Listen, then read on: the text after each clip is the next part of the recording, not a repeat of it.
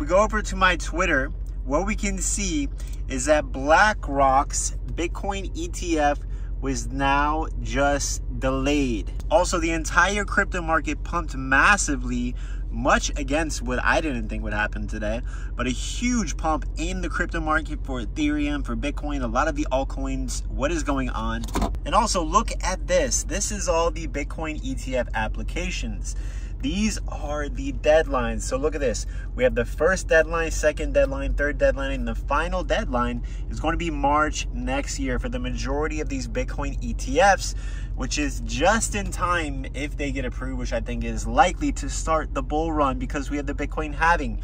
This is going to be absolutely massive. We also got a pretty big bounce in the stock market today, the S&P 500, which is very exciting very good. You guys could check out the view from the G-Wagon here. Look at this.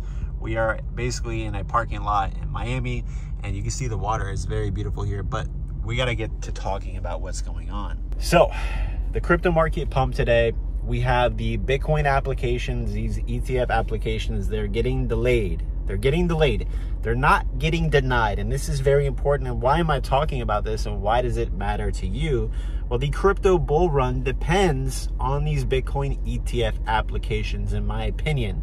There will be a crypto bull run without these ETFs, but the ETFs are going to make cryptos go absolutely crazy. All of them, a lot of them, in my opinion, not financial advice, especially Bitcoin, Ethereum, some of the main coins, and all this money is going to flow into the other coins other than the applications, the ETFs. Uh, you have Ethereum, the Bitcoin ETFs, which are likely to get approved. Why is this important? It's because it's going to cost trillions of dollars very quickly to rush into Bitcoin Ethereum and to all these other assets, which is going to spike the crypto volume is going to spike everything in the crypto market, get everything exciting again, and it's going to start a bull run, in my opinion.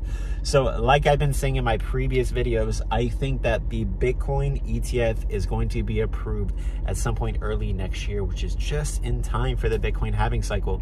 But I mean, why did cryptos go up today? Nothing, no news happened. Honestly, no bullish news. It's just the market going up because a market maker is driving the price up. So nothing is specifically driven and caused the price to go up today. Just regular market makers causing shorts to be liquidated, pushing against the shorts. So there's a short squeeze today, and that's why we had a very strong move. You can also try my Algo Sniper trading indicator today for free. So go to Algo Sniper while the time is limited. If you want to take access to my profitable trade alerts, where I'm posting profitable trade alerts every single week, guaranteed or your money back, join the Patreon. The link is in my video description. I also have a free Telegram community. Join that, talk to me and my community members who are using all those services that I just mentioned to you. And that's going to be it for this video. So if you guys got something out of this video, consider giving this video a thumbs up, subscribing with notifications on, and I'll see you later.